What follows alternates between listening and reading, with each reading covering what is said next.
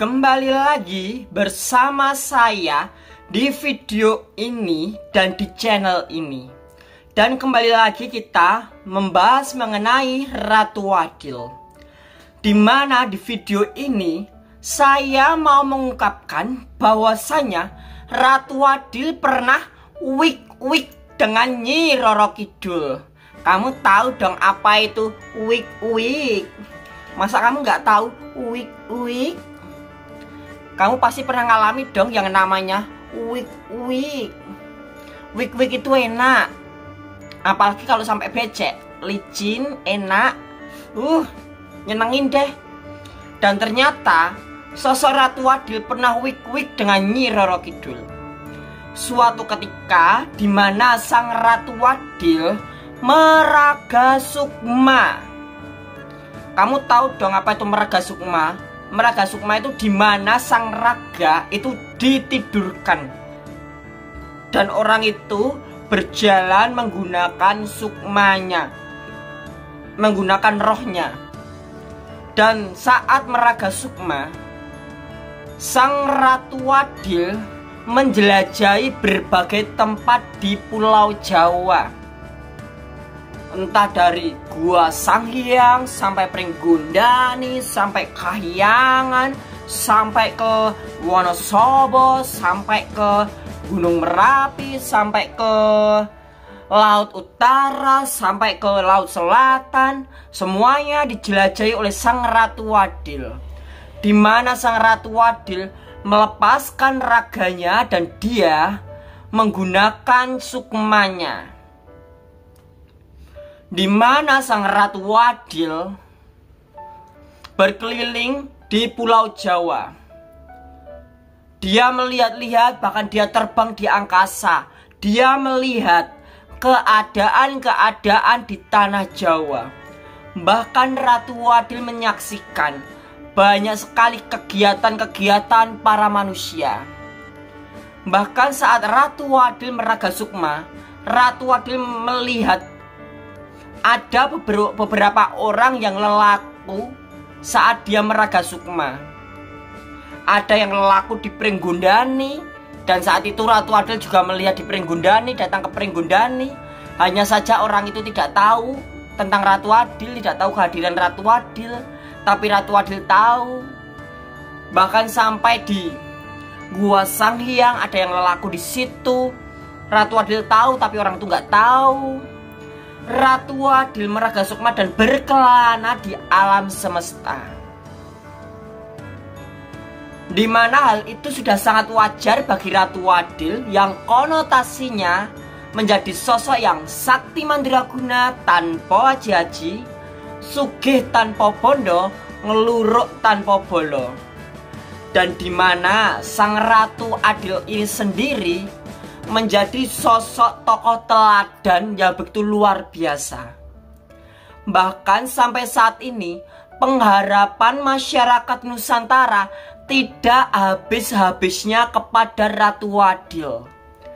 Dikarenakan tekanan-tekanan perekonomian, tekanan-tekanan kehidupan yang membuat masyarakat Nusantara merasakan penindasan merasakan kekelaman, merasakan kesengsaraan, merasakan penderitaan. Maka dari itu, masyarakat Nusantara senantiasa menantikan dan menantikan kehadiran Sang Ratu Adil.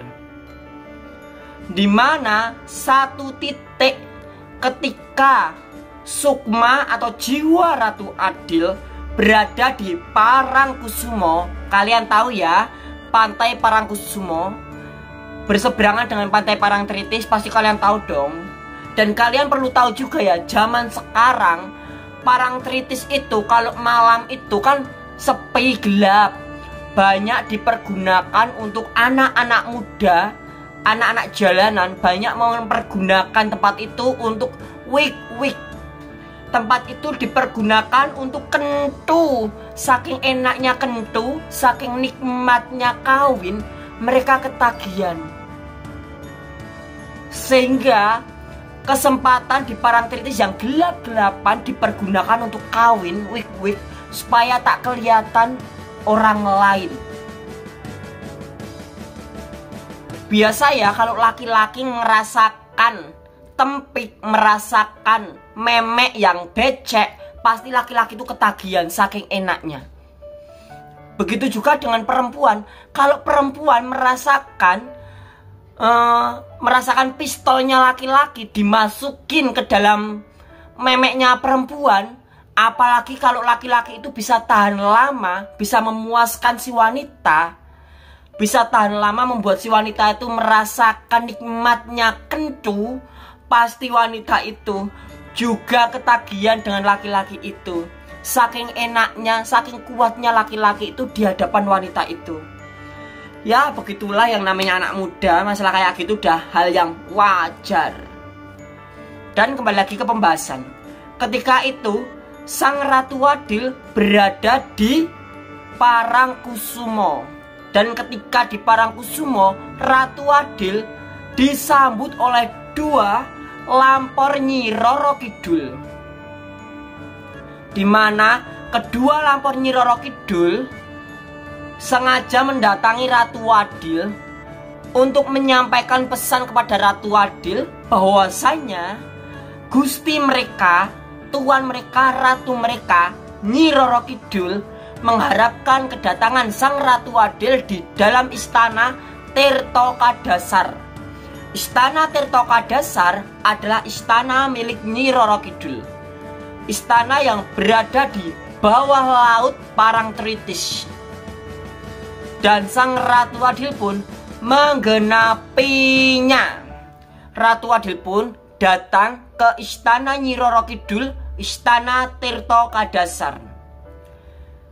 Dan saat berada di dalam istana, Sang Ratu Wadil melihat pasukan-pasukan Nyiroro Kidul dan dayang-dayang Nyiroro Kidul. Bahkan Sang Ratu Wadil disambut oleh Senopati Senopati petinggi Nyiroro Kidul dan disambut juga oleh Nyiroro Kidul. Dan Sang Ratu Wadil diajak oleh Nyiroro Kidul masuk ke dalam ruangan khusus di mana ruangan itu sudah dipersiapkan Nyi Roro Kidul untuk berduaan dengan Ratu Adil. Dan saat di ruangan itu, Ratu Adil dibaringkan di dalam ranjang yang empuk, ranjang yang penuh dengan bunga, ranjang seribu bunga. Dan Ratu Adil pun mengikuti keinginan Nyi Roro Kidul. Nyi Roro Kidul ingin melepaskan baju Ratu Adil dan Ratu Adil pun melepaskannya. Bahkan Ratu Adil melepaskan celana dan celana dalamnya. Ratu Adil bela-belaan kepada Nyi Roro Kidul. Karena Ratu Adil pasrah mau diapain saja sama Nyi Roro Kidul, silakan. Mau diemut-emut, mau dicipok-cipok, mau dikelamutin, mau dijilat-jilat, mau dimasukin, mau di olahragain, mau dipeluk-peluk, mau dianget-angetin, sang ratu adil nurut. Sang ratu adil dah pasrah. Nyi Roro Kidul mau apain sang ratu adil, ratu adil pasrah. Dan terjadilah di malam itu antara Nyi Roro Kidul dan Ratu Adil wik wik Nyi Roro Kidul kawin dengan Ratu Wadil di Ranjang Seribu Bunga. Di mana Ranjang Seribu Bunga ini adalah ranjang khusus. Ranjang pengantin baru. Di mana di malam itu menjadi malam seribu bunga, malam yang penuh kenangan, malam yang indah. Di mana Ratu Wadil merasakan nikmatnya gesekan, nikmatnya gesekan kering, nikmatnya enak banget dan Nyi Roro Kidul juga merasakan nikmatnya sang Ratu Wadil apalagi Ratu Wadil tahan lama sehingga membuat Nyi Roro Kidul sangat puas karena Ratu Wadil tahan lama. Itu kilasan mengenai informasi kali ini di mana Nyi Roro Kidul wik-wik dengan Ratu Adil. Jangan lupa untuk selalu like dan subscribe video ini Nyalakan juga notifikasi loncengnya supaya kamu tak ketinggalan video terbaru dari channel ini.